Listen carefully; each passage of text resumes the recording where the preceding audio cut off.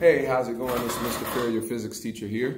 So we're gonna do a lab today. This is the kinetic energy car ramp experiment.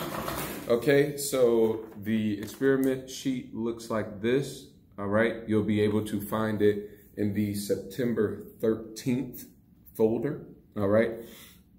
Now, with this lab, all right, we are focusing on the amount of energy that our car has when it rolls down the ramp. A big part of that is calculating the car's velocity. Now we've already done that, all right? So if you haven't done that yet, you can uh, check out the previous lab, the car ramp velocity experiment, all right?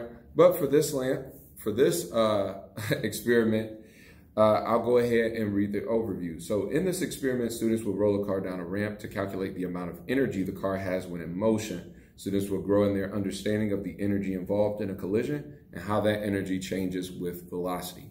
All right. So in this lab, all we're going to do is uh, essentially have a visual representation of the amount of energy that a car has when it rolls down a ramp. And we're going to calculate that energy. All right. Now, again, to calculate that energy, we're going to need the velocity, which was uh, calculated in a previous lab. All right. So today we're going to work on that visual representation. All right. So uh, for starters, the materials we will need, books, our car ramp, our car, a ruler, and a wooden block. Okay. So for our procedure, we're going to first take one of our books, put it on the table. We're going to take our ramp, put it against the book. All right, I like to put it on the inside flat. And then we're gonna lay the ruler along the side of the ramp. Now, you can keep it here. It's unnecessary. Uh, you will need the ruler though. I like to have mine off to the side.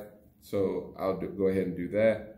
Now, we're gonna place the wooden block flush against the ramp. Okay, so we want the back of this uh, wooden block directly against the ramp where it touches the table. All right, now we're gonna put our car up here. We're just gonna let it roll down the ramp until it hits the block. And when it moves the block, okay, we're gonna take our ruler and use centimeters to measure how far it moved the block from the ramp, okay? Now, this block's movement is not actually telling us um, the amount of energy that our car had. Um, down the ramp, we would need to do calculations to figure that out. However, seeing how far the block moves from the ramp, this is going to give us that visual representation. And we're going to use some of the other calculations we made, um, uh, primarily using velocity, to actually calculate the car's energy as it comes down the ramp. So let's go ahead and do this experiment. It also asks us to measure the height of the book. So I already did measure my book height. So I'm just gonna fill that out in my table and uh, you can go ahead and measure yours as we move along. So go ahead, measure the height of this book. For me, uh, the first book is three centimeters high. All right. Now let me go ahead and let this car hit the block. Nice. Okay, solid contact there. So I'm going to go ahead and measure my block. Now, sometimes one part of your block may push out further than the other. This was a pretty direct hit, so that worked out well. But in the case that your block is crooked, measure the side that is closest to the ramp. So don't measure the side that moved further away. Measure the side that's closer, and uh, that will help you stay a bit more accurate and reasonable with your answers. Okay, so I'm gonna go ahead and measure from the ramp to the block. All right, so for that one, I got about 1.8 centimeters. Okay, so I'm gonna go ahead and include that in my table. Now my table also asks me for the velocity of the car while moving down the ramp.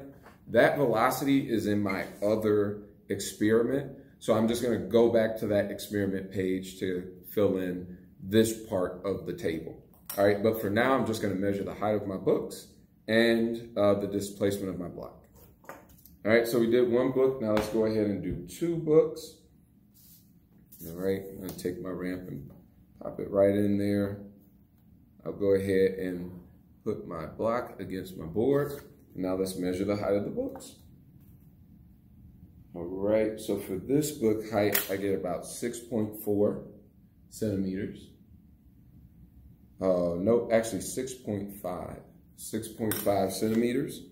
Okay, now let's go ahead and roll this card down the ramp.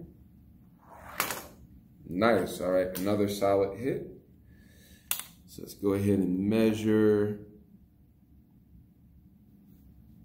All right, so it looks like I get about 3.4 centimeters. Okay, so again, as you're following along, record your numbers for the experiment if you are able to do this at home. All right, so I'm gonna add a third book up top. I'm gonna go ahead and place my ramp inside of the book. Place my block against the uh, edge of the ramp in the table. Now go ahead and measure my book's height. All right, so I get about 10.4 centimeters. Measuring my book's height. And let's go ahead and roll the car down the ramp. All right, so this was a great example of seeing how if I don't hit the block exactly in the middle, it'll turn the block outwards. But I still have this area, so this is the side closest to the ramp, so that's what I'm gonna go ahead and measure. Okay, so it looks like I have 6.4 centimeters for that displacement of the block from the ramp. All right, great. So I have all of my numbers now for my table. Again, my velocities are in my other experiment write-up, and so I'm gonna use those velocities in order to complete this lab. All right, so at this point I would clean up my lab station, but now let's go ahead to the board and finish this out.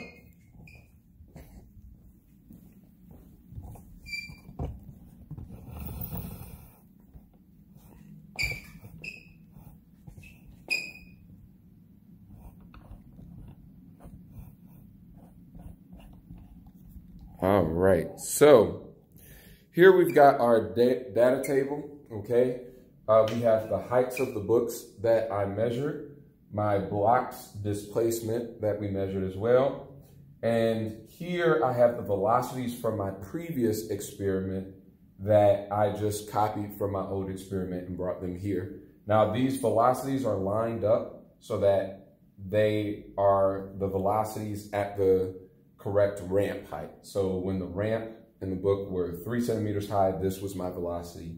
When they were six and a half centimeters high, this was my velocity. And the same for 10.4 centimeters high, this was my calculated velocity. So now that we have that, we're gonna move on to the next part of this lab where we calculate the kinetic energy. So we visually see how far the block was moved, but we actually wanna know precisely what the energy of our car was as it rolled down that ramp and struck the block. All right, so over here, we can see some of those calculations for kinetic energy. Now, kinetic energy has an equation, which we see up here. So the kinetic energy is one half the mass of our car times the car's velocity squared. Now, I already uh, measured uh, our car's mass. So M is going to be equal to 0.038 kilograms. Okay, so that's what we're using. And now we're going to go ahead into our calculations. So let me roll this down a bit. Awesome.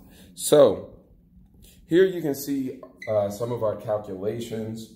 We've got our kinetic energy equals one half the mass of our car. Now this is the velocity when the car ramp was the height of one book. All right, so we're gonna square that, and that's gonna give us a total of 0.017 joules. Now remember, even though our units are gonna come out kilograms times meters squared per second squared, that is equal to a joule. So 0.017 joules is our energy for when our car rolls from a height of one book high. We're gonna go ahead and measure the energy from the height of two books high. So we plug in that velocity. 1.60 meters per second. And that gives us an energy of 0.049 joules. All right, now we're gonna go ahead and measure the energy when our car rolls from a height of three books high. We go ahead, one half the mass of the car times the velocity, which was 2.35 meters per second when it's three books high. And we get an energy of 0.105 joules. All right, so now that we have all of our energy energies measured, let's go ahead and throw them in a table. Now, the basic table that you're gonna need is just the velocity and the kinetic energy, but I went ahead and put the block displacement just because I think that helps us see uh, the effect of the energy even more, okay? So let's go ahead and look at the basic uh, table that I want you all to have in your experiment write-up. So you're gonna list your velocities in one column, okay? How fast the car was going when it was one block, one book high, two books high, and three books high when it rolled from those heights. All right, and now we're gonna list our kinetic energies next to them. I wanna point out that immediately you can see that as the velocity increases, we also see an increase in the energy of the car, okay? Um, now, not only do we see that, but when we look at the displacement of the block, we see that trend continue so the more energy a car has, the further it moves the block, okay? And we continue to see the block's displacement go up as the car's energy goes up. All right, so when you do your experiment write-up, you can point out a number of these relationships. So not only do, does the velocity increase um, as the kinetic energy increases or you know, the kinetic energy increases as the velocity increases. But we also see that as our kinetic energy increases, the block is moved further and further. So more energy allows that block, it seems, to move further and further.